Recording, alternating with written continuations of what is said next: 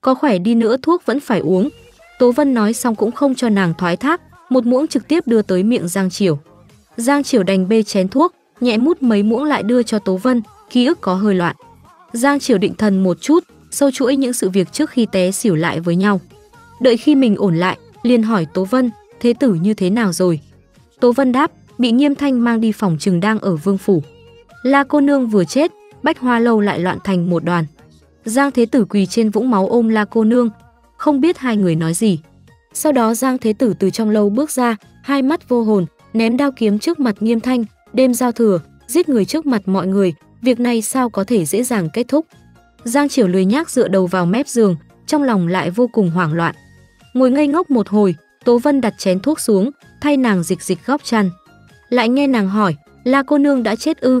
Tố Vân gật gật đầu Giang Triều ngẩn người, ngực một trận khó chịu, không biết trong chuyện này rốt cuộc là ai hại ai.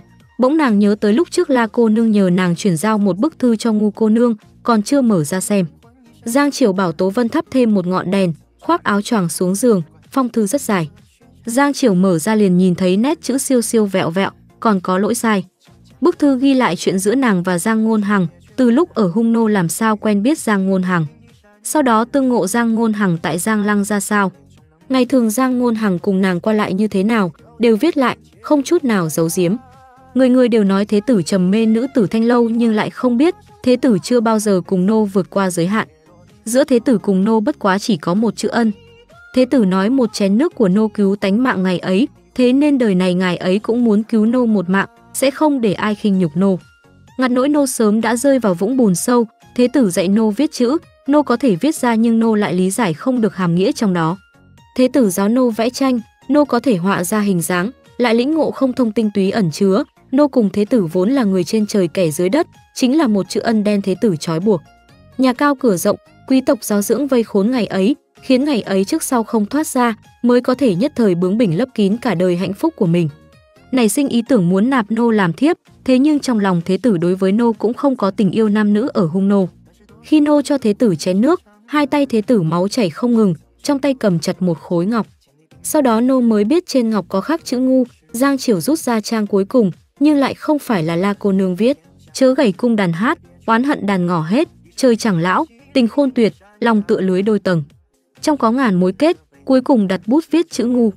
Giang Triều bảo Tố Vân để bức thư lại trong bao, hít một hơi nói, ra chút bạc an táng La cô nương tử tế. Nàng không ở trong cuộc, không thể mình phán tâm người khác, chỉ có người trong cuộc mới hiểu được. Tư vị là khổ hay sướng, là ngọt hay đắng. Hôm nay, xung quanh Bách Hoa Lâu xảy ra một trận ồn ào, mấy câu cuối cùng La cô nương nói chỉ có Giang Ngôn Hằng nghe rõ. Thế tử nhớ ký nô chết cùng thế tử không quan hệ, thế tử không cần tự trách, cũng không cần dây dứt báo ân nô. Nô vô cùng biết ơn chế tử, đời này dù nô có sống thêm mấy chục năm cũng không bì được nửa năm nô gặp được thế tử. Nô được học viết chữ, học vẽ tranh, biết ý nghĩa làm người, nô có lời quá rồi, thế tử sau khi trở về hãy cùng ngu cô nương giải thích rõ ràng, chớ nên lẫn lộn ân tình cùng nô. Thế tử phải phân rõ như thế nào là ân như thế nào là tình. Sau này đối đãi ngu cô nương thật tốt, hai mắt Giang Ngôn Hằng trống rỗng nhìn nàng nhắm hai mắt lại bình thản xuôi tay. Đến nửa đêm Giang Triều mới chợp mắt. Ngày kế là đại niên mùng 1, vốn là hỉ khí dương dương, nhưng sự việc phát sinh đêm trừ tịch khiến ai cũng không có tâm trạng. Thẩm lão phu nhân nghe nói Giang Triều tỉnh lại từ đêm qua, liền thở dài nhẹ nhõm một hơi. Sáng sớm nay lại phái ma ma đi nhìn Giang Triều một chút. Mama vừa đến, liền thấy Giang Triều ăn mặc chỉnh tề, chuẩn bị ra cửa, bà liền hỏi biểu cô nương, cô muốn đi đâu thế, ta đi vương phủ một chuyến. Giang Triều theo Mama xuống lầu, đến thỉnh an thẩm lão phu nhân trước, sau đó thưa muốn đi vương phủ thăm đại ca, Giang gia thế tử xảy ra chuyện, Giang Triều không có khả năng mặc kệ. Thẩm lão phu nhân đau lòng thì đau lòng, cũng vô pháp ngăn cản nàng, liền gọi Thẩm Sương tới, con đi cùng biểu muội đi. Thẩm Sương liền đồng ý, xoay người lại không giấu nổi hưng phấn, hai má đỏ ửng. Hôm nay Thẩm Tụng không có nhà, mùng một năm mới cửa hàng Thẩm ra muốn phát lộc. Một đám người chờ chủ nhân lì xì, nên mới sáng sớm, Thẩm Tụng đã ra cửa, vì vậy Thẩm lão phu nhân gọi mã phu thay thế hắn. Lên xe ngựa, Thẩm Sương liền đưa cho Giang Triều một cái túi thơm, đây là ta hôm kia tự mình làm, biểu muội nhận đi xem như quà tặng năm mới.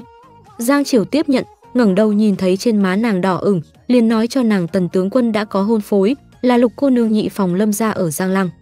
Ngày ấy những gì nàng hỏi Tố Vân, Tố Vân trở về liền kể hết cho Giang Triều. Một cô nương chưa lập gia đình, chủ động hỏi công tử nhà khác, vô luận hỏi cái gì, nhất định là nảy sinh tâm tư. Giang Triều vẫn luôn không có cơ hội nói, hiện giờ thừa dịp này, liền nói cho nàng biết Lâm Lục cô nương tâm tư thâm trầm, hành sự nham hiểm, không phải là người dễ sống chung. Lời này đánh tan niệm tưởng làm thiếp của Thẩm Sương. Thẩm Sương như bị ngũ lôi oanh đỉnh, ngẩng đầu nhìn Giang Triều, trên mặt không chút huyết sắc. Đợi khi phục hồi tinh thần lại mới lười nhác dựa vào thành xe ngựa, thấp giọng nói biểu muội biết rồi ư. Giang Triều gật đầu. Biểu tỷ nếu là khách Giang Lăng, sao năm muội mang tỷ đi cùng, chỉ cần ngoại tổ mẫu đồng ý, liền tìm một cửa hôn sự ở đó. Sau này chúng ta cũng có thể thường xuyên qua lại, lời này nếu là đặt ở trước đó một ngày, Thẩm Sương nhất định sẽ đồng tâm. Nhưng hôm qua gương mặt của tần tướng quân đã chui vào trong tâm trí nàng, vứt đi không được. Hiện giờ ngực nặng thêm đau, làm gì có tâm tư đi tìm hôn sự khác. Giang Triều thấy nàng không nói chuyện, nhìn qua thấy hốc mắt nàng đỏ ửng đong đầy nước mắt, Giang Triều không nhiều lời nữa, đưa khăn cho nàng. Lúc sắp đến vương phủ, Thẩm Sương mới rốt cuộc bình phục tâm tình, lau lau khóe mắt cười với Giang Triều, biểu muội đừng để ý đến ta. Đi thăm Giang gia biểu ca quan trọng hơn. Chu Thuận nghe thị vệ bẩm báo Giang cô nương tới, xoay người một cái, vội khoác áo choàng lên, mau mau mời tiến vào. Hôm qua sau khi Trần Ôn đưa Giang Triều hồi thẩm ra, liền đi gặp Giang Ngôn Hằng, phạm vào tội giết người, Giang Ngôn Hằng chỉ có thể bị nhốt vào địa lao. Ta không bắt ngươi tra hỏi, không phải vì ngươi là Giang gia thế tử. Trần Ôn đứng ở trước cửa lao phòng, thanh âm có vài phần tàn khốc, ngươi tự giải quyết cho tốt. Sau khi Trần Ôn về phòng ngồi lì ở trên giường, đến tận nửa đêm mới chợp mắt. Chu Thuận theo Trần Ôn lớn lên, trước đây chưa từng thấy trường hợp như vậy. Điện hạ chưa bao giờ có vẻ khó xử như thế. Nhưng lần này sự việc Giang gia thế tử liên lụy đến Giang Triều còn có Giang Hoán. Nếu định tội hắn, vậy liền đúng với lời phụ nhân đêm qua. Người Giang gia trong xương cốt chính là lang huyết, như vậy liền đẩy Giang gia đến mũi đao, lại theo Giang Ngôn Hằng đi tra sự việc Giang Nhị gia năm đó. Nếu ngôn luận kia là thật, vô luận là nguyên nhân gì, Giang gia chắc chắn vạn kiếp bất phục. Đêm qua Giang Ngôn Hằng giết người, vụ việc cũng đã bị nha môn lập án, thân thích những người bị giết gõ chống kêu hoan để cáo trạng lên nha môn. Đưa Giang Ngôn Hằng lên công đường, muốn đòi công đạo. Người trong nha môn có ai dám động, người là bị nghiêm thị vệ bên cạnh thái tử mang đi, ai có gan đến chỗ thái tử bắt người. Trong nha môn, oan gia thật sự khó xử, liền sai người tìm Chu Thuận tới. Chu Thuận quay đầu lại, chừng có người miệng rộng quá. Ông nói ông có lý, bà nói bà có lý. Ai động tay trước, các ngươi ai nhìn thấy. Lời này chứng minh, Thái tử Điện Hạ muốn bảo vệ Giang gia Thế tử. Vốn dĩ một Giang gia tể tướng phủ cũng đã đủ làm một đám quan sai trong nha môn kiên kỵ, hiện giờ lại là Thái tử, càng không có ai dám nói thêm nửa câu. Nghĩ nghĩ một lúc, có người hồ nghi lên tiếng, không phải nói Thái tử không thích Giang gia sao, còn chính miệng Thái tử nói từ hôn, sao lúc này lại đứng về phía Giang gia. Người đó, mau nuốt mấy lời này vào bụng đi, có biết họa là từ miệng mà ra không? Một đám tiểu quan sai liền đóng chặt miệng. Tâm tư người trên ai có thể hiểu được, Giang Triều đi theo Chu Thuận vào trong, mơ hồ còn nhớ đường, lần trước tới nghe diễn cũng chính thức cùng Trần Ôn kết thúc. Chuyện của đại ca nên xử trí như thế nào nàng, không có quyền hỏi đến. Những gì nàng có thể làm cũng chỉ có thể tới vương phủ nhìn một cái. Nhưng dù vậy nàng vẫn không tránh khỏi phải tìm đến Trần Ôn. Đang do dự mở miệng, thế nào liền nghe Chu Thuận nói Giang cô nương đến là vì Giang Thế Tử đúng không? Việc này Điện Hạ đã giao cho Thụy Vương, hiện giờ do Ninh Sư ra xử lý. Cô nương nếu muốn vào nhà lao gặp người, tìm Sư ra nói một tiếng là được. Chu Thuận chiếu theo phân phó của Trần Ôn nói, hắn không rõ. Thật vất vả lắm mới có cơ hội kể công, Điện Hạ vì sao không nắm bắt. Giang Triều Đại để không nghĩ tới sẽ dễ dàng như vậy. Sừng sốt một lát cảm tạ Chu Thuận. Nếu thật là biểu ca phụ trách, vậy thì dễ nói chuyện rồi. Chu Thuận sai người đưa Giang cô nương tới chỗ Ninh Đình An, quay đầu liền chạy đi bẩm báo Trần Ôn. Người quả thật tìm tới, nô tài đã mang đến chỗ Ninh sư gia. Trần Ôn mới vừa dậy không lâu, màu đỏ trong mắt còn chưa hoàn toàn rút hết, xoa xoa giữa mày nói, đi tra vị la cô nương kia ở Giang Lăng như thế nào, thân là chữ quân. Trần Ôn đã thay hoàng thượng xử lý chính vụ nhiều năm. Vụ việc trước mặt, bất quá chỉ liếc mắt một cái liền nhìn thấy điểm mấu chốt. Chuyện về La cô nương lúc trước Thụy Vương đã hỏi qua Ninh Đình An. Tin tức Ninh Đình An nói ra đều là chọn phần hắn muốn nói. Đa số là ân oán giữa Giang Ngôn Hằng và La cô nương, cuối cùng đưa cho Thụy Vương kết quả là Lâm gia nhị phòng, Lâm cô nương Lâm Thiên Mạt nhúng tay. Trần Ôn bảo Chu Thuận bắt đầu tra, Phù Dung Thành này cha không được tin tức liền tìm người ở Giang Lăng cha.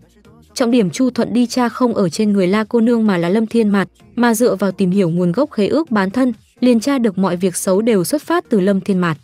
Người Lâm gia ngầm biết tâm tư Lâm Thiên Mạt muốn gả nhập Đông cung, nề hà đằng trước Giang Triều cùng Trần Ôn có hôn ước. Người khác cho rằng nàng đánh chú ý vào vị trí chắc phi, nhưng chỉ có hai nha hoàn thân cận mới biết tâm tư thật sự của nàng ta. Lâm Thiên Mặt không phải muốn vị trí chắc phi mà là thái tử phi. Chu Thuận ở trong cung lăn lộn mấy năm nay, có thể cùng thẩm gia, thẩm xương qua lại, tất nhiên có rất nhiều biện pháp khiến nha hoàn bên cạnh Lâm Thiên Mạt mở miệng. Ngày ấy tiểu thư từ trong cung trở về, liền nổi giận đùng đùng nói rằng nhất niệm là Giang cô nương đã nói gì đó với hoàng hậu nương nương, mới khiến hoàng hậu nương nương chặt đứt ý niệm tiến cung của nàng. Sau đó liền quấn lấy Lâm lão phu nhân nhị phòng, muốn Lâm lão phu nhân đi năn nỉ hoàng hậu nương nương, thay nàng cầu tình. Làm chắc khi cũng được, chờ tương lai thái tử đăng vị phong phi, ai tốt ai xấu còn chưa biết đâu. Lâm lão phu nhân tiến cung, Chu Thuận có biết. Bà vừa mở miệng đã bị hoàng hậu nương nương một câu cắt đứt, ngày ấy bổn cung triệu nàng tiến cung là đã rất nhẹ nhàng, không ngờ nàng không nghe vào, các ngươi cũng đừng tiến cung nữa, bổn cung muốn thanh tịnh. Lâm lão phu nhân hoảng sợ biết đây là chọc tổ ong vò vẽ, nhanh miệng sửa lại lời, hôm nay tới là chủ ý của lão thân. Ngày thường nhìn nha đầu kia thích đến chỗ nương nương nên nghĩ để nàng tới hầu hạ nương nương. Việc này là lão thân hồ đồ xin nương nương bỏ qua. Hôn sự với tần gia là lâm lão phu nhân đi cầu hoàng hậu. Phụ thân nha đầu kia trong lòng vốn có chủ ý, thường xuyên nhắc tới thiếu tướng quân trong nhà tần thượng thư, tuổi trẻ đầy hứa hẹn. Hoàng hậu không có hứng thú, mai mối là chuyện của các ngươi, coi trọng nhà ai bản thân tự định là được làm sao cần tới hỏi bổn cung. Sau khi Lâm lão phu nhân trở về, liền nhờ người tìm Tần phu nhân ngầm nhắc đến một câu hoàng hậu nương nương. Hôm sau Tần phu nhân liền nhờ bà mối tới cửa cầu hôn Lâm gia. Lâm lão phu nhân là Lâm lão gia tục Huyền. Phu nhân trước đây của Lâm lão gia đã vào Phật môn quy y, không được mấy năm liền rời đi nhân thế. Sau đó, Lâm lão gia liền cưới vị nhị phu nhân này. Lâm Lục cô nương là do thân sinh nhi tử của bà sinh ra, tất nhiên yêu thương hết mực. Nếu chỉ nhìn một cách đơn thuần điểm này bối cảnh, Tần phu nhân cũng sẽ không đi cầu hôn. Có thể đi cầu hôn cũng không phải là nhị phu nhân ngầm nhắc đến hoàng hậu nương nương. Hoàng hậu nương nương là Lâm gia đại phòng sở sinh, thời trẻ còn cùng nhị phòng nháo một trận, ngày thường vì mặt mũi có thể duy trì chút tình cảm, còn như gặp đại sự, giúp hay không giúp, cũng khó nói lắm. Tần phu nhân là cố kỵ nhị phòng nhị công tử. Nhị công tử là phu nhân quá cố sở sinh, là phò mã của trưởng công chúa ở Giang Lăng. Nhân mạch rộng khác, lúc trước Tần gia gặp mấy cọc phiền toái, cũng là nhờ nhị công tử giúp giải quyết. Tuy nói, nhị công tử cùng Lâm gia sớm chặt đứt tình cảm nhưng thế nào Lâm lão gia cũng là cha ruột của ông ta, đồng thời ông ta cũng là thân nhị bá của Lâm cô nương. Tần phu nhân phái người qua, không ngờ ngày thứ hai Lâm cô nương liền náo loạn lên, tìm Lâm lão phu nhân không thành, lại tìm Lâm lão gia. Cuối cùng thấy không có đường lui, liền đi tìm một vị cô cô Lâm gia. Từ sau lần gặp Lâm cô cô, Lâm Thiên Mạt như bị người tẩy não. Bản thân không tốt liền sinh ra ý niệm người khác cũng đừng hòng tốt. Đầu tiên là đi tìm La cô nương. Thấy cô ấy dầu muối không ăn, liền nghĩ bán nàng cho bằng hữu Giang ngôn hàng. Nghĩ bụng nếu việc này lộ ra, thanh danh Giang gia sẽ theo đó hủy hoại. Giang Triều cũng đừng mong sống yên ổn. Ai ngờ La cô nương lại có lá gan, dám suốt đêm chạy trốn. Lâm Thiên mặt nổi điên, liền nghe vị cô cô kia đề ra một câu. Lâm đại bá ngươi ở Phù Dung Thành, khế ước bán thân lại ở trên tay ngươi, còn lo nàng chạy thoát sao? Lâm Thiên Mặt được nhắc nhở lại sinh lòng xấu xa, đem khế ước bán thân trực tiếp cho Lâm đại gia, lại thả tin tức cho Giang Ngôn Hằng, nói là La cô nương bị người bán đi. Thế nên mới xảy ra những chuyện sau này. Điều tra rõ thủ đoạn Lâm Thiên Mạt xong, những sự tình phát sinh ở Ngũ Đài Sơn ngày ấy cũng tra ra manh mối. Tiểu thư cũng không biết từ đâu nghe được, cây châm trên đầu Giang cô nương là điện hạ tương tặng, thường ngày rất yêu quý. Hôm đó tiểu thư mời Giang cô nương cùng chơi tuyết, thừa dịp Giang cô nương ngồi xổm xuống, rút cây châm xuống nói, hình dáng cây châm này nàng chưa thấy qua bao giờ, muốn cẩn thận nhìn một cái. Giang cô nương nhìn thấy lập tức thay đổi sắc mặt, đoạt về tiểu thư nhẹ nhàng buông tay. Cây châm liền rớt trúng tảng đá. Giang cô nương tức giận, trực tiếp tát tiểu thư một cái. Sau khi tiểu thư trở về càng sinh khí, vừa vặn biết được Giang tiểu công tử, Giang Hoán, Nhiễm Phong Hàn đang lên cơn sốt, liền dội một gáo nước lạnh lên đầu. Sai nô thì đi lấy hết tất cả thuốc chữa phong hàn trong đạo quan về. Lúc sau lại sợ Giang cô nương đi tìm điện hạ, liền sai người đi dò hỏi tin tức điện hạ. Vừa lúc điện hạ ngày ấy không có ở đó. Thời điểm Giang cô nương tìm tới cửa, nha hoàn bên cạnh tiểu thư liền cấu kết với một mama, nói mấy câu không dễ nghe, bức Giang cô nương lên núi tuyết. Tiểu thư chính mắt nhìn thấy Giang cô nương mạo hiểm lên núi tuyết, sau đó bảo nô tỳ tránh ở chân núi, dặn dò nếu Giang cô nương không trở về thì thôi còn nếu trở về liền lấy mấy tấm ván gỗ sau núi xử lý nàng. Mãi cho đến đêm, nô tỳ nhìn thấy Giang cô nương cầm một chiếc đèn, toàn thân đều dính máu, nhất thời sợ hãi liền cũng không dám nhắc đến chuyện này. Một phong bồ câu đưa thư truyền đến tay Chu Thuận. So với những gì lúc trước hắn tra được, còn kỹ càng tỉ mỉ hơn. Cơ hồ không sót một chữ, viết kín cả mảnh vải, còn có cả dấu tay nha hoàn. Chu Thuận xem xong ngực liền nhảy thình thịch, nghĩ lại mà lạnh cả người. Khi Chu Thuận đi vào tìm Trần Ôn, Trần Ôn đang lật xem đại Trần luật, muốn bảo hộ Giang Ngôn Hằng cũng phải tìm lý do chính đáng. Thân nhân người bị thương cả ngày quỳ gối trước nha môn, trái một câu muốn thái tử duy trì công đạo, phải một câu thái tử yêu dân như con, tiết diện vô tư, tuyệt sẽ không bao che tội nhân. Tăng bốc như thế kiểu gì cũng cảm thấy không dễ nghe. Sự tình mới bắt đầu náo loạn đã bị người nha môn đè ép xuống, nhưng tin tức vẫn truyền vào tay Trần Ôn. Tuy Trần Ôn trầm mặc không nói, nhưng Chu Thuận biết lúc này Giang Ngôn Hằng là chạm được điện hạ đế hạ. Từ khi điện hạ tham chính tới nay, vẫn luôn chủ trương công bằng. Mấy năm qua, quan viên phạm tội không tên nào thoát được. Điện hạ mọi lúc đều nói quân vương phạm phạm tội cũng như thứ dân, thế nhưng lần này rốt cuộc trong mắt lại không có quyết đoán anh minh, một mình ngồi dưới đèn liên tục mấy ngày, xem luật pháp đại trần. Giang Lăng bên kia có tin tức, Chu Thuận cúi đầu không dám nhìn Trần Ôn, đôi tay trình mảnh vải trên đỉnh đầu đưa cho hắn. Đã nhiều đêm liền, đèn trong phòng Trần Ôn thắp đến sáng. Trên bàn một ngọn đèn lưu ly, trước mặt còn có một ngọn đèn dầu. Mảnh vải mở ra ánh sáng chiếu vào, từng câu từng chữ đều vô cùng rõ ràng. Mảnh vải mềm mại bị Trần Ôn niết chặt trong tay, cơ hồ muốn xé nát. Ngọn đèn dầu chợt lóe, nhấp nháy lên xuống, Trần Ôn cũng không biết là ánh lửa lay động hay là mí mắt hắn nhảy quá dữ dội. Năm đầu ngón tay như tụ máu, ngực lạnh từng cơn, nhiệt độ quanh thân nóng lên lại đột nhiên hạ xuống, nháy mắt đổ một tầng mồ hôi lạnh. Hắn cho rằng trên ngũ đài sơn, hắn chỉ thiếu nàng một tiếng xin lỗi, chỉ là nói không nên lời, không ngờ lại là thiếu chút nữa làm nàng mất mạng. Trần Ôn vô pháp tưởng tượng mình có bao nhiêu không kiên nhẫn lúc nói những lời đó khiến nàng thương tổn biết nhường nào, cũng vô pháp tưởng tượng khi đứng ở trước cửa cầu hắn, nàng có bao nhiêu bất lực. Nàng xem hắn là nơi nàng dựa vào, xem hắn là người có thể bảo vệ nàng, thế mà hắn lại cảm thấy nàng quá phiền, đẩy nàng ra. Trần Ôn hiện tại đã hiểu một câu, từ hôn không chỉ là lui hôn ước mà còn cắt đứt sự ỉ lại của nàng đối với hắn. Ngày xưa ở Đông Cung, lỡ bị nước trà nóng văng trúng tới đầu ngón tay, nàng sẽ kiều kiều thở ra, cúi đầu lén nhìn thần sắc hắn. Hắn quay đầu buông một câu, cẩn thận một chút. Khóe môi nàng liền dương lên, cười thẹn thùng, cảm thấy mỹ mãn. Hôm đó nàng rõ ràng là đi tuyết sơn, rõ ràng là bị thương, lại trang điểm chỉnh tề sạch sẽ, xuất hiện trước mặt hắn, che giấu chật vật, không còn nguyện ý lộ ra nửa điểm yếu ớt cho hắn thấy nữa. Không hề muốn làm nũng với hắn nữa, đồng nghĩa là đã chết tâm. Đối với hắn hoàn toàn chặt đứt ý niệm, Trần Ôn ngồi trên ghế phảng phất như cảm nhận được. Giang Triều ở ngũ đài sơn từ mất mát đến thất vọng, lại từ tuyệt vọng đến dần dần lạnh tâm. Nỗi khó chịu hiện giờ từng chút, từng chút rời lên người hắn. Không ngừng quấn lấy tim hắn, làm hắn chợt cảm thấy căn phòng trở nên ngột ngạt, cực kỳ khó thở. Chu Thuận trình mảnh vài tin tức cho Trần Ôn xong, liền cong eo đứng một bên, không dám hé răng, mắt nhìn trong phòng càng ngày càng yên ắng, chỉ có âm thanh đồng hồ nước chảy từng giọt như nện vào tim người. Tinh thần căng chặt, không dám chậm trễ mảy may. Sau một lúc lâu, Chu Thuận mới nghe Trần Ôn nghẹn ngào thốt lên, "Hủy đi." Chu Thuận ngẩng đầu, tim đập lỡ một nhịp, đôi mắt Trần Ôn đỏ đến đáng sợ. Bên trong chất chứa phẫn nộ không thể cưỡng chế, đồng tử như thiếu đốt thành một mảnh vẩn đục. Chu Thuận lập tức gục đầu xuống, không dám liếc nhìn thêm, đồng thời cũng biết điện hạ nói hủy chính là hủy hoại Lâm cô nương. Chu Thuận từng chứng kiến thủ đoạn Trần Ôn thu thập người. Khi còn nhỏ ba vị thuốc quốc cữu ra đại phòng Lâm ra ăn thiệt từ hắn không ít. Nếu hắn muốn hủy hoại một người, chỉ sợ Lâm cô nương không có quả ngọt mà ăn. Chỉ bằng thủ đoạn hai lần vừa qua, Chu Thuận cảm thấy Lâm cô nương không hề oan uổng. Lâm cô nương tuy nói cũng họ Lâm, là chất nữ của hoàng hậu nương nương nhưng hai mươi mấy năm trước, nhị phòng bên kia đã từng xảy ra mâu thuẫn lớn với đại phòng. Sau đó Lâm gia phân ra, lúc ấy vị Lâm cô cô kia gây không ít chuyện xấu tổn hại nương nương. Chu Thuận đang định lui ra ngoài, Trần Ôn đột nhiên lại mở miệng hỏi, cây châm đó ta tặng cho nàng khi nào? Hắn không có nửa điểm ấn tượng, chắc là mình bảo Chu Thuận đưa qua. Tuy nhiên Chu Thuận lại nói nô tài cũng không rõ ràng lắm. Trước đây nô tài đều là thay điện hạ đưa tặng Giang cô nương đá quý, cây châm đó nô tài chưa từng thấy qua. Trần Ôn cũng không hỏi lại, Chu Thuận liền xoay người lui ra ngoài. Căn phòng trống chỉ còn lại mình Trần Ôn. Ánh sáng đèn dầu chiếu lên người hắn, bóng người không có nửa điểm di động, hệt như tượng gỗ. Giang Triều đến thăm Giang Ngôn Hằng.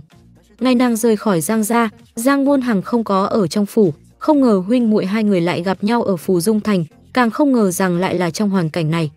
Giang Triều không hỏi hắn về La cô nương và Ngu cô nương, chỉ hỏi một câu, đại ca có tính toán gì không? Giang Ngôn Hằng trầm mặc một lúc lâu mới lên tiếng xin lỗi, ta hàng năm đều ở tại biên quan, quay lại Giang Lăng quả thật không quen. Hoán Ca Nhi trưởng thành ở Giang Lăng, tâm tính thuần khiết, sau này nhất định có thể làm Giang gia vinh danh. Giang Triều cúi đầu nhấp môi không nói lời nào, lời này là có ý tứ gì, Giang Triều tự nhiên hiểu. Giang gia chúng ta từ trước đến nay không hề phân biệt đại phòng, nhị phòng. Muội và Hoán Ca Nhi đều là thân đệ đệ, thân muội muội của ta. Ta biết muội hiểu chuyện, mọi việc đều giấu trong lòng. Nhị thúc nhị thẩm đã đi mấy năm nay, có thể làm muội vui vẻ cũng chỉ có thái tử. Vô luận tương lai muội lựa chọn như thế nào, cũng không sao. Sau này Hoán Ca Nhi thành tài, tất nhiên sẽ quan tâm chăm sóc người. Giang Triều ngẩng đầu nhìn hắn, vành mắt ửng đỏ, vậy còn đại ca? Giang Ngôn Hằng nói thái tử sẽ không khó xử, Giang gia ta sẽ thay mọi người cầu phúc. Nhìn hắn cũng không biết vì sao, liền hỏi hối hận không. Sau một lúc lâu, giọng Giang Ngôn Hằng từ phía sau mới truyền đến, không biết Giang Triều đặt điểm tâm nàng làm ở trước mặt hắn. Lại cầm một cái túi nhỏ màu đỏ ra, bên trong đựng mấy viên kẹo cứng. Ở Giang gia mỗi năm ăn Tết, đại bá mẫu đều sẽ cho Giang gia hài tử một cái túi nhỏ như vậy vào mùng một tân niên. Nói ăn đường năm sao chắc chắn ngọt ngọt ngào. Giang Triều đưa cho Giang Ngôn Hằng, cắn môi kìm nén nước mắt nói, ca ca tất niên cát tường. Giang Ngôn Hằng tiếp nhận, đa tạ tứ muội muội. Dừng một chút, lại nói tất niên cát tường. Từ trong nhà lao đi ra, Giang Triều lau khô nước mắt, sắc mặt lạnh đến khiếp người. Lúc nhìn thấy Tố Vân, cơ hồ là rít qua kẽ răng nói một câu, Lâm Thiên Mạt nhất định gặp báo ứng. Mới ra khỏi cửa địa lao, liền gặp được Giang đại cô nương, Giang Yên. Tính tình Giang Yên vốn ôn hòa, lúc này cũng không tránh khỏi rối loạn. Một mặt lau nước mắt, một mặt trách cứ ta. Liền biết tương lai có một ngày sẽ xảy ra chuyện. Hắn đây là tự hại bản thân mà. Giang Triểu nghiêng đầu không nói chuyện. Giang Yên cũng không cùng nàng nhiều lời, bước chân vội vàng đi về hướng địa lao. Thẩm Sương không đi theo Giang Triểu vào địa lao mà ở bên ngoài đợi nàng. Trong vương phủ có vài nhánh hồng mai, tuyết động dâm cành, nửa bị tuyết phủ, nửa ẩn ẩn lộ ra. Bạch hồng xen lẫn làm Thẩm Sương nhất thời xem ngây ngốc. Hôm qua cả đêm không ngủ, làm một cặp bao đầu gối, lúc này giấu ở tay áo, sờ tới sờ lui. Tổ mẫu đã từng nói qua một cửa hôn sự cho nàng. Đối phương là một vị tú tài ở Phù Dung Thành. Thế nhưng Di Nương nói dòng dõi quá thấp, nếu gả qua ngày tháng sau này khó xuất đầu. Nữ nhân gả chồng giống như lần thứ hai tân sinh nên nhất định phải chọn một hộ vừa lòng mới được. Thẩm Sương đã gặp tú tài kia. Bộ dạng thanh tú cũng có chút tài hoa nhưng không hề có cảm giác vừa gặp đã yêu, muốn hứa hẹn cả đời. Vì vậy khi Di Nương nói từ hôn, nàng cũng liền đồng ý nhưng mà tần tướng quân lại khác. Hắn vừa xuất hiện liền đoạt mất hồn nàng, luận ra thế, tài năng không có chỗ nào là không giống hình mẫu tiềm năng. Nàng tha thiết ước mơ cả đêm. Nàng hồi hộp ngóng trông Xuân Tân nhộn nhạo, không nghĩ tới một câu vừa rồi của Giang Triều giống như một chậu nước lạnh hắt ở trên người nàng, hủy hết mọi hy vọng. Trên hành lang có tiếng bước chân truyền đến, Thẩm Sương theo bản năng quay đầu nhìn. Thẩm Sương từng nghe người ta nói qua, thời điểm mới để ý đến người đó sẽ luôn luôn vô tình gặp gỡ. Thân ảnh đĩnh bạt từ xa đến gần.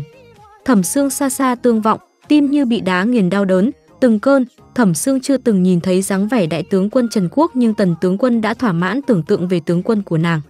Thẩm cô nương cẩn thận, trên đỉnh dai đóng tuyết mới tan, rất trơn, tần tướng quân từ phía sau nàng đi tới, bước chân đã lướt qua nàng vài bước. Cuối cùng vẫn ngừng lại quay đầu, nhắc nhở nàng một tiếng, trong lòng thầm thương vốn đang ưu tư bị một câu này hoàn toàn đánh sập. Thẩm Sương nhìn tấm lưng càng lúc càng xa, tim đập liên hồi, cuối cùng thốt lên, "Tần tướng quân, chậm đã."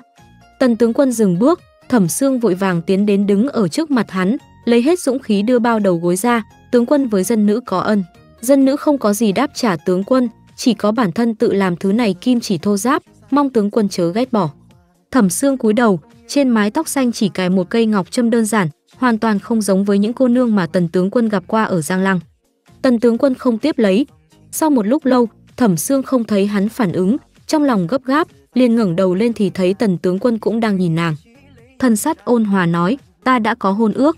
Hàng năm, hắn ở trên chiến trường lăn lộn không thích loanh quanh lòng vòng. Đêm qua ở dưới hàng hiên gió lạnh thổi qua làm lọn tóc nàng bay bay, hai má đỏ hồng thật là đẹp mắt. Lệnh của cha mẹ lời người mai mối, hắn tuy gặp qua Lâm cô nương cũng biết người trong lòng Lâm cô nương không phải là hắn. Nhưng mà hôn ước còn một ngày, hắn liền biết không thể tiếp nhận cô nương khác. Với thẩm cô nương, thật không công bằng. Thẩm Sương đột nhiên gục đầu, nắm chặt bao đầu gối trong tay, không rõ là hổ thẹn hay là mất mát chỉ biết đây là sự thật không thể thay đổi được. Một câu cũng nói không nên lời. Tần mỗ đa tạ hảo ý của thẩm cô nương. Bên ngoài gió lớn, thẩm cô nương vẫn là vào nhà đi. Tần tướng quân ôn hòa nói, nhìn nàng một cái liền xoay người bước nhanh trên hành lang.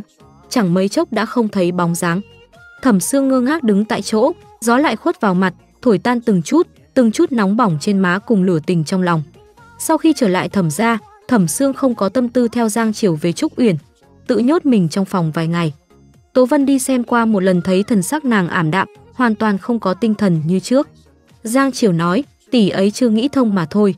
Nàng không đi khuyên tần tướng quân có thích Thẩm xương hay không, nàng không biết nhưng nàng biết Lâm Thiên mặt không xứng.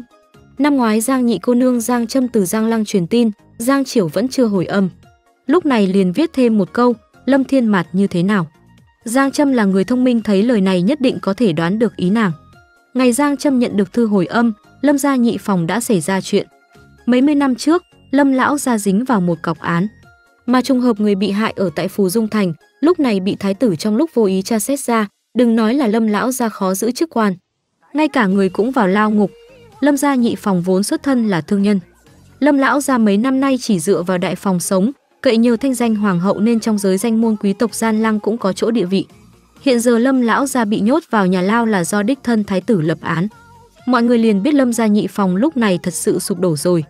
Lâm lão phu nhân vừa nghe liền vội vàng tiến cung đệ thiếp muốn gặp hoàng hậu. Kết quả thiếp còn chưa đưa qua, thái giám đã lên tiếng trước. Thứ tiện dân này, bà là thê tử tội nhân, cũng dám đệ thiếp đến hoàng hậu nương nương. Nếu có lần sau cẩn thận ta muốn mạng chó ngươi. Lâm lão phu nhân nghe xong liền nằm xoài trên mặt đất, sống nửa đời người mặt già xem như mất hết, nhất thời cũng không rõ vì sao Lâm gia lại đột nhiên gặp tai họa bất ngờ này. Thấy bên hoàng hậu không thành, Lâm lão phu nhân lại đến phủ trưởng công chúa tìm Phò Mã gia. Phò Mã vốn là trưởng tử của Lâm lão gia. Thế nhưng Lâm lão gia lại có một tư sinh tử bên ngoài là Lâm đại gia ở Phù Dung thành lớn hơn vài tháng, thành ra từ hàng nhất xuống hàng nhị. Phu Lâm lão phu nhân vừa nghe liền vội vàng tiến cung để thiếp muốn gặp mặt hiện giờ Lâm Lâm lão phu nhân vừa nghe Lâm lão thấy, bên hoàng hậu không thành Lâm lão phu nhân lại đến phủ trưởng công chúa tìm Phò Mã ra Phò Mã vốn là trưởng tử của Lâm lão gia thế, nhưng Lâm lão gia lại có một tương sinh từ bên ngoài là Lâm đại gia ở Phù Dung thành lớn hơn vài tháng thành ra từ hàng nhất xuống hàng nhị. Vài thập niên qua đi có lẽ là do tính cách ông ta ham chơi nên xưng hô nhị công tử này không thay đổi.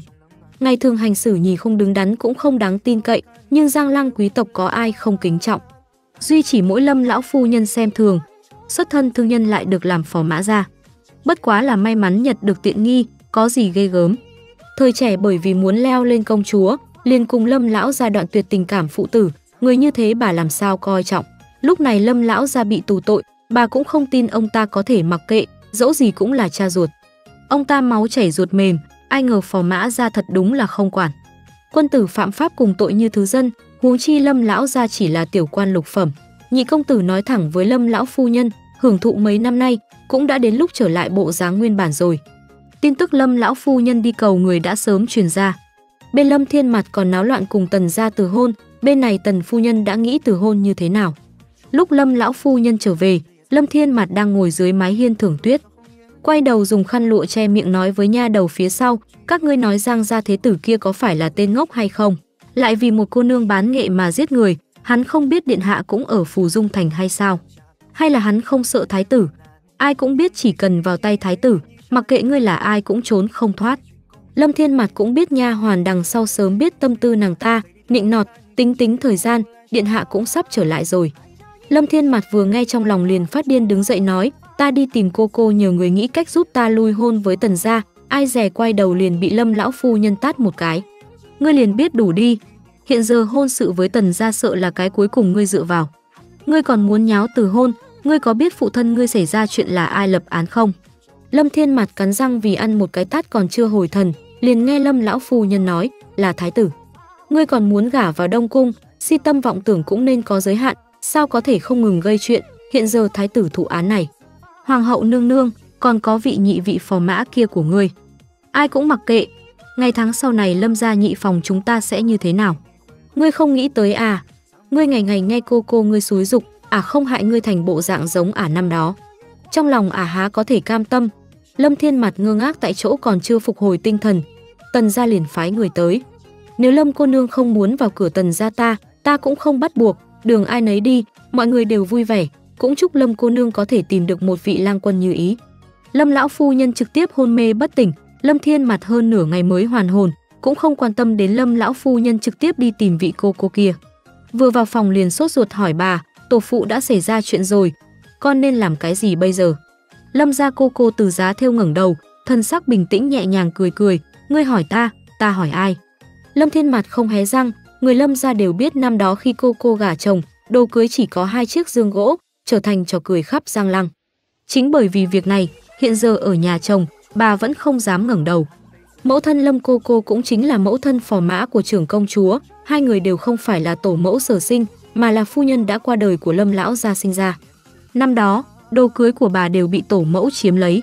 Nghe nói tất cả là mẫu thân để lại cho bà. Kể từ đó Lâm cô cô cũng bắt đầu nổi loạn giống nhị bá, hoàn toàn cắt đứt quan hệ với Lâm gia. Nhưng mà Lâm Thiên Mạt từng nghe tổ mẫu kể qua việc này, bà nói khi đó Lâm gia nhị phòng gặp khó khăn, vì thế Lâm Thiên Mạt cho rằng cô cô không nên mang thủ mới đúng. Trước khi đi, ném cho Lâm cô cô một câu, người y hệt nhị bá bá, đều là bạch nhãn lang. Kim trong tay Lâm cô cô khựng lại, bà tinh tế nhìn ngắm đóa mẫu đơn đang theo dở dang, mỉm cười, bà và ông ta không giống nhau, bà không có miệng tốt như ông ta, cũng độc hơn ông ta. Sự kiện Giang Huy thành kinh động thiên địa quỷ thần 10 năm trước đã bị khuấy động lại. Người Lâm gia sống hay chết có liên quan gì đến bà? Bà thử hỏi, nếu đã vô duyên với tỷ tỷ, ông có thể thích cô nương khác không? Ông nói không. Vậy sau đó Thẩm Yên Nhiễm thì sao? Tân xuân qua đi, mầm non nho nhỏ vô thanh vô tức nhú ra từ nhánh cây đóng tuyết. Giang Trâm gửi tin nói Lâm Thiên Mạt chết rồi. Cũng không phải người Giang ra ra mặt, dường như là trời cao có mắt. bao ứng nhất nhất ứng nghiệm trên người Lâm Thiên Mạt. Giang gia còn chưa kịp làm gì, bất quá trong nửa tháng ngắn ngủi, đầu tiên là Lâm lão gia chết ở trong ngục, sau đó là Lâm phu nhân bị điên, Lâm Thiên Mạt hoàn toàn không còn ai dựa vào nên tìm cách lôi kéo vãn hồi hôn sự với Tần gia. Kết quả Tần phu nhân dứt khoát lui hôn Lâm Thiên mà tức giận cả ngày chỉ biết khóc lóc. Lâm gia nhị phòng từ trên xuống dưới đúng là loạn không thể loạn hơn, chuyện xấu liên tục kéo tới. Lâm Thiên Mạt không cam tâm chịu thua, ban đêm lén ra ngoài, muốn đến Lâm gia đại phòng cầu xin giúp đỡ. Ai ngờ nửa đường bị đánh ngất xỉu, khi tỉnh lại thì phát hiện bản thân ở trong thanh lâu. Một đêm qua đi, Lâm Thiên Mạt khóc lóc biện giải mình trong sạch nhưng nào có ai tin. Phụ thân Lâm Thiên Mạt đích thân đưa cho nàng một đoạn lụa trắng nhân lúc còn sớm, đi cho sạch sẽ. Trước khi chiếc ghế đổ xuống, mẫu thân Lâm Thiên Mạt khóc lóc trước phòng nàng nói, đang êm đẹp, ai bảo ngươi đi chơi chọc Giang cô nương, đi chơi chọc Giang ra hả? Ngươi còn không tin sao? Thái tử đang ở Phù Dung Thành lại đột nhiên động đến tổ phụ ngươi. Nhất định là có nguyên nhân. Nếu không phải thái tử ra tay, Lâm gia chúng ta làm sao rơi vào bước đường này?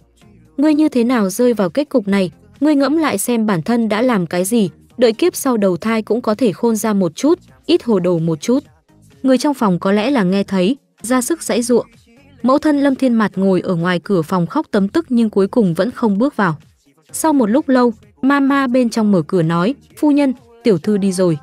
Chu Thuận vừa nhận được tin, liền báo cho Trần Ôn điện hạ, mọi chuyện đã làm thỏa đáng. Trần Ôn không có biểu tình gì, ánh mắt rời khỏi trang sách, hỏi Chu Thuận một chuyện khác, cây châm trà được chưa? Chu Thuận lắc lắc, nô tài chưa từng trải qua tai trong chướng mục Đông cung, cũng chưa từng có ghi chép. Điện hạ ngẫm kỹ lại xem có khi nào điện hạ tặng cho Giang cô nương nhưng lại quên mất không? Cũng chỉ có khả năng này. Dựa theo thái độ điện hạ đối với Giang cô nương, việc này rất có khả năng, chỉ là hắn đã quên tặng cho người ta khi nào mà thôi. Khi Ninh Đình An tiến vào, liền thấy ánh mắt Trần Ôn lơ đãng nhìn về phía hắn, nhưng con ngươi hình như xuyên thấu qua không hề nhìn hắn. Điện hạ, Ninh Đình An chắp tay hành lễ. Trần Ôn lúc này mới mở sách ra, sai Chu Thuận đưa cho Ninh Đình An, chiếu theo cái này để tội Giang Ngôn Hằng, bắt hắn bồi thường cho người bị hại. Tiếp đó xung quân đến biên cương lập công chuộc tội. Đây là lần đầu tiên Trần Ôn nảy sinh tư tâm, cũng không muốn nhiều lời. Ninh Đình An lĩnh mệnh đang định đi ra ngoài, Trần Ôn lại hỏi hắn một câu, đêm trừ tịch, dựa theo lời sư gia nói, chắc là biết chuyện xảy ra ở Vi Thành 10 năm trước. Sau đêm trừ tịch, Trần Ôn vẫn luôn không rảnh hỏi hắn, lúc này đột nhiên nhớ tới trận ôn dịch năm đó. Ninh phu nhân cùng Ninh phó tướng đều từ Vi Thành trở về, là một trong những người sống sót lúc đó. Ninh Đình An có thể biết được nội tình cũng không có gì lạ. Ninh Đình An xoay người chấp tay thi lễ, khuôn mặt ẩn sau ống tay áo chậm rãi nói, người chết đã chết, người sống vẫn sống, dù điện hạ biết thì như thế nào cũng không thể thay đổi sự thật. Đã thế, cần gì phải để ý quá khứ. Ninh Đình An rõ ràng là không muốn nói. Đôi mắt Trần Ôn liếc qua chỉ nhìn thấy mũ quan trên đầu hắn. Trần Ôn đột nhiên lại hỏi sư gia muốn gì. Lúc này Ninh Đình An mới ngẩng đầu, chỉ cầu trên không thẹn với thiên, dưới không thẹn với dân. Điện hạ chỉ có nói, thủ hạ thần tử có thể ngồi ở chức vụ này là phúc của bá tánh. Thuộc hạ không phục điện hạ tài đức sáng suốt, đồng thời cũng kính trọng tinh thần yêu quốc yêu dân. Trần Ôn chăm chú nhìn hắn, nửa khắc nói, Năm đó Giang tướng quân vì Trần Quốc ta đánh bại Liêu Quốc, không chế ôn dịch, quả thật xứng đáng được mọi người kính trọng. Ninh Đình An trầm mặc, hai người mặc kệ là xuất phát từ mục đích gì, đều là muốn giữ mạng Giang Ngôn Hằng. Hiện giờ Trần Ôn đưa ra kết quả xử trí, hai người đều vừa lòng. Giang Ngôn Hằng xung quân đến biên cương, bất quá chỉ là quay về nơi của hắn. Đối với Giang Ngôn Hằng mà nói, cũng không phải là trọng phạt. Trừ cái này ra, vị trí thế tử vẫn giữ nguyên. Giang gia cũng không bị ảnh hưởng, liên lụy gì. Kết quả này thật là Ninh Đình An ngoài ý muốn. Với thái tử mà nói, chỉ sợ cũng là lần đầu trong cuộc đời phá vỡ cán cân công bằng thiết lập bấy lâu. Ninh Đình An đích thân đưa tiễn Giang Ngôn Hằng ra khỏi Phù Dung Thành. Tới cổng thành, Giang Ngôn Hằng đột nhiên hỏi hắn, lần trước ngươi tới phủ Dung Thành chính là vì chuyện tứ muội muội từ hôn à? Ninh Đình An cười không đáp. Giang Ngôn Hằng nói, nếu ta đoán không sai, ân sư của Giang Hoán chắc hẳn đệ ấy là đồng môn sư đệ với sư gia. Sư gia đã có thể làm được mức này, biểu huynh xin có yêu cầu quá đáng. Giang Ngôn Hằng nghiêm túc nhìn hắn, nói tiếp, hai tay Giang Hoán sạch sẽ, trời sinh tính tình chính trực, vị trí kia hẳn so với ta càng thích hợp. Ninh Đình An đứng trước cửa thành, nhìn hắn lên ngựa. Tương lai còn dài, Giang Thế Tử làm sao chắc chắn mình sẽ không hồi Giang Lăng. Thời gian là liều thuốc hay, lâu ngày mới biết lòng người. Sau khi Thế Tử đến biên cương, bình tĩnh ngẫm cho kỹ. Rốt cuộc bản thân mình muốn cái gì, ngựa Giang Ngôn hàng đảo quanh tại chỗ vài vòng, sau đó phóng đi. Ninh Đình An ngẩng đầu, nhìn mặt trời ngã về tây, lúc thu hồi tầm mắt, chỉ thấy người ngựa đã đi xa, chỉ lưu lại cho bụi mù mịt. Ninh Đình An xoay người, lệnh gã sai vặt bên cạnh đi thẩm ra một chuyến. Lâm Thiên Mạt chết, Giang Triều vô cùng bất ngờ. Đại đệ cũng không nghĩ tới Lâm Thiên Mạt sẽ chết nhanh như vậy. Cũng không phải cảm thấy nàng ta không nên chết, mà là cảm thấy việc này quá mức trùng hợp. Lâm gia nhị phòng cơ hồ không có chức quan gì, nhưng vẫn có thể tồn tại ở Giang Lăng đều là ỷ vào đại phòng. Có lần nghe tổ mẫu đề qua, lúc trước tổ mẫu, hoàng hậu nương nương từng bởi vì Lâm lão gia nhị phòng làm việc thiếu đạo nước, liền phân ra tách ra. Tuy nhiên trước khi qua đời, lại mềm lòng nhận nhị phòng trở về. Lâm gia nhị phòng ỉ vào điểm này, tiêu sái được vài năm vẫn luôn tường an không có việc gì. Hiện giờ nói đổ liền đổ. Lâm cô nương nói chết cũng liền chết, còn là không phải Giang gia ra tay. Giang Triều không nghĩ ra được là ai, dù cho hoàng hậu nương nương biết nội tình, tức giận như thế nào, hận như thế nào cũng sẽ không dùng biện pháp nham hiểm như vậy. Ném nàng ta vào thanh lâu một đêm, người đã chết thanh danh còn không giữ được. Giang Triều nghĩ mãi cũng nghĩ không ra nguyên cớ. Nàng tựa người bên bệ cửa sổ, thưởng thức cảnh tuyết rơi, hơi thở đầu xuân dần dần lan tràn.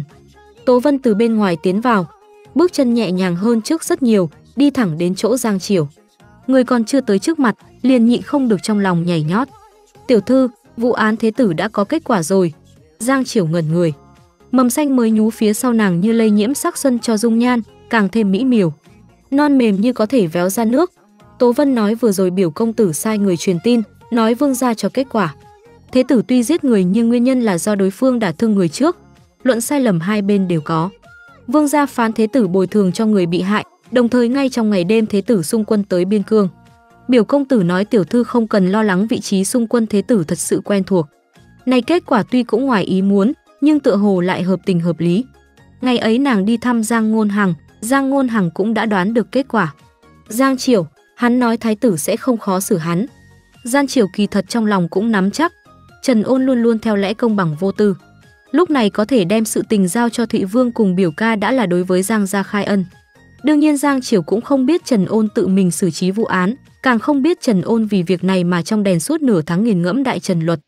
Lần đầu tiên trong đời đánh vỡ nguyên tắc bản thân, phá vỡ cán cân công bằng. Xem ngày nào đó thích hợp, ta lại đi thăm Tam Di. Giang Triều vừa này ra chủ ý này, Thẩm Sương liền tới trước Trúc Uyển nói tổ mẫu mấy ngày gần đây bị ho. Sáng nay đột nhiên nói thân mình mệt mỏi, đến giờ vẫn còn chưa thể xuống giường. Giang Triều nhanh chóng theo Thẩm Sương đến phòng Thẩm lão phu nhân. Các cô nương Thẩm gia đều có mặt. Từ sau thiệp mừng thọ, Thẩm lão phu nhân bị Trương Nhị gia náo loạn, thân mình liền càng lúc càng suy sụp. Ban đầu người Thẩm gia đều tưởng Thẩm lão phu nhân mắc tâm bệnh nên không mấy để tâm. Nghĩ rằng qua vài ngày, trong lòng nghĩ thoáng sẽ tốt lên. Không ngờ bệnh tật mãi kéo dài, Thẩm lão phu nhân nằm mãi trên giường, không dậy nổi. Không bao lâu, thẩm đại gia cũng từ cửa hàng chạy trở về. Từ khi đồng gia bên kia bắt đầu trị liệu người mắc phong hàn, thẩm đại gia vẫn luôn vì việc này bôn ba. Thời điểm đồng lão gia tử bận rồi, thẩm đại gia cũng giúp một tay, đích thân hỗ trợ khám bệnh. Chỉ là phong hàn bình thường, tuyết tai thình lình xảy ra, gặp tiết trời lạnh lẽo như vậy, ai cũng sẽ mắc bệnh. Thẩm lão phu nhân ngày ngày ở tại trong phủ, dưới chân đặt mấy chậu than, ngày đêm đốt liên tục vẫn nhiễm phong hàn. Ai cũng không biết nguyên nhân. Thẩm đại gia bắt mạch cho thẩm lão phu nhân, hỏi ma ma trong phòng kết hợp với bệnh trạng, quả thật có dấu hiệu tương tự với những người bệnh khác trước cửa đồng gia. Là nhiễm phong hàn. Thẩm đại gia khai phương thuốc, bảo ma ma đi trưng cách thủy đút cho lão phu nhân mấy chén, đẩy lui hàn khí trong người sẽ khỏe. Bệnh nhân trước cửa đồng gia đa số cũng là dùng biện pháp này, tuy nhiên người không có đủ khả năng giữ ấm, qua không được mấy ngày lại tái phát. Cứ lặp đi lặp lại như thế, đồng gia bên kia bận từ cuối năm đến đầu xuân không thể rảnh rỗi. Thẩm đại gia đi rồi, Giang Triều cùng các cô nương thẩm gia vẫn ngồi ở trong phòng. Giang Triều bị mấy chậu than hong đến gương mặt đỏ ửng, mấy lần đứng dậy bước ra cửa thổi bớt hơi nóng rồi lại tiến vào. Biểu muội sợ lắm à, thẩm đại cô nương thẩm băng nhìn ra được. Trời lạnh như vậy, chỉ thấy sắc mặt nàng hồng nhuận, chán sinh ra một tầng mồ hôi mỏng, liền biết có lẽ là sợ mấy chậu than trong phòng. Biểu muội sợ nóng vậy về Trúc Uyển nghỉ ngơi trước đi, có chúng ta trông chừng được rồi. Phụ thân cũng đã kê đơn thuốc cho tổ mẫu, nhất định sẽ không có chuyện gì đâu. Giang Triều đang do dự thì Thẩm Tụng trở về, sai ma ma tìm hai người đi cửa hàng hỗ trợ. Nói bà tử sắc thuốc hôm nay bị bệnh không thể tới. Trong phủ có hai nha hoàn năm ngoái xin nghỉ Tết chưa quay lại. Ma ma nhất thời cũng khó xử. Trong phòng lão phu nhân lại đang bệnh, cũng không biết nên gọi ai. Muội đi với biểu ca, dù sao muội cũng chưa đến tiệm thuốc thẩm ra lần nào, giờ đi nhìn một cái cũng hay. Mọi người còn chưa nghĩ ra lý do ngăn cản, Giang Triều đã ra cửa. Mới đi được hai bước, Thẩm Sương cũng chạy theo, tỷ cũng đi. Giang Triều sợ nóng, Thẩm Sương trong lòng cũng nóng đến hoảng. Ngày ấy từ Vương phủ trở về, Thẩm Sương cũng từng mấy lần muốn cắt đứt ý niệm đối với Tần tướng quân, nhưng gương mặt kia, giọng nói kia cứ âm thầm không một tiếng động mà chui vào tâm trí nàng, quấy nhiễu nàng không yên. Bây giờ Thẩm Sương cũng đã 18, hôm tân niên, sau khi ăn cơm xong bữa cơm đoàn viên, chủ mẫu Thẩm gia Thẩm phu nhân liền giữ nàng lại. Tam cô nương tuổi tác cũng không nhỏ, ta mặc kệ di nương ngươi nghĩ như thế nào, có yêu cầu gì, tuổi tác ngươi cũng không còn nhỏ nữa. Nếu trong năm nay lại không nghị thân, sau này e rằng càng khó tìm người có điều kiện như hiện giờ. Đạo lý này Thẩm Sương há có thể không biết, đều nghe mẫu thân. Thẩm Sương từ ngày ấy bắt đầu muộn phiền không thôi, cho tới bây giờ cũng chưa hồi phục tâm tình. Sự tình lâm gia ở Giang Lăng, Thẩm Sương không nắm được tin tức. Tất nhiên cũng hoàn toàn không biết Tần gia đã cùng Lâm gia lui hôn. Chỉ biết nàng cùng Tần tướng quân đã không còn hy vọng. Từng coi trọng người ở trên cao như vậy, giờ bảo nàng hạ thấp tầm mắt, làm sao nàng có thể xem vào. Huống chi trong lòng mãi không quên được bóng người kia. Mặc cho nàng nỗ lực như thế nào cũng không đuổi đi được. Thẩm Sương biết bản thân tám phần là xong rồi. Nàng đã rơi vào mê muội, tư thế hai người hăng hái xông thẳng vào băng tuyết. Thẩm Tụng cũng không lại ngăn cản, liền theo phía sau, nhanh chóng lên xe ngựa. Lúc Thẩm Tụng rời cửa hàng, trước cửa cũng không có người vương phủ, nhưng khi kéo Giang Triều cùng Thẩm Sương đến đây, trước cửa liền song song đứng ba người, Thái tử, Thụy Vương, Ninh Sư Gia. Giang Triều từ trên xe ngựa bước xuống, ngẩng đầu vọng qua, ba người đứng trên đỉnh giai cũng nhìn lại. Giang Triều sững sờ một lúc, mới nhấc chân đi tới. Bởi vì vụ án Giang Môn Hằng, Giang Triều gần đây có chạm mặt Thụy Vương cùng Ninh Biểu Ca ở Vương Phủ vài lần. Còn Trần Ôn từ đêm trừ tịch nàng không hề gặp qua hắn. Thật sự khá khoan khoái. Trước cửa tuyết trắng được quét dọn sang hai bên. Tầm mắt Giang Triều không dừng trên ba người ba. Nàng chậm rãi dẫm từng bước lên phiến đá đến gần. Bên cạnh tiệm thuốc có một gốc dương liễu đang đâm chồi non, rủ xuống nền tuyết trắng, màu xanh non nổi bật trong mắt người. Ánh mắt Trần Ôn dừng ở trên người nàng, áo choàng xanh như dương liễu đập vào mắt giống như xuân phong quất vào mặt. Đáy lòng cũng vì hương sắc kia mà dần dần dạo rực. Đôi con ngươi yên lặng nửa tháng qua, cuối cùng sinh ra vài tia gợn, dán chặt trên người nàng. Ước gì có thể đặt nàng ở trước mặt, thế nhưng bóng người kia lại nhẹ nhàng hành lễ, bước chân không có ý tứ dừng lại. Vô tình lướt qua hắn, vài sợi tóc vương ở khóe mắt, u hương như có như không phảng phất thoáng quá. Ngực Trần Ôn bất giác nhói đau, có hơi hơi chua xót. Cổ u hương nháy mắt tan biến, sắc xuân nhộn nhạo trong lòng ban nãy cũng vô tung vô ảnh. Trước cửa tiếng người ồn ào, Trần Ôn xoay chuyển bước chân, một câu cũng không nghe vào tai, nhẫn nại nửa khắc. Đôi tay phía sau giật giật, cuối cùng vẫn đi theo vào trong. Trong sân cửa hàng thẩm ra dựng mấy cái chảo sắt, ngày ngày nổi lửa sắc thuốc. Người trong tiệm vô cùng bận rộn, không ai rảnh rỗi nhìn ngó ai. So với Giang Triều, Thẩm Sương xem như quen cửa quen nẻo. Cô nương Thẩm gia xuất thân y dược thế gia, không cần tốn công phu đi học, mưa dầm thấm đất lâu rồi, đối với dược liệu cũng có hiểu biết.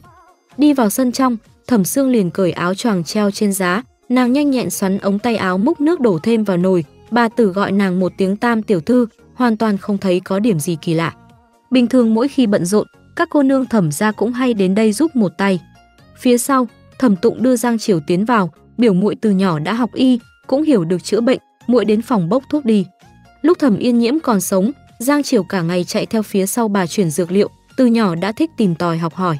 Năm 7 tuổi, Thăm Yên Nhiễm mang theo nàng trở về thẩm gia một lần, lúc ấy Giang Triều giúp thẩm lão phu nhân giảm đau chứng phong thấp tay chân, việc này mọi người thẩm gia đều biết, thẩm tụng cũng nhớ rõ.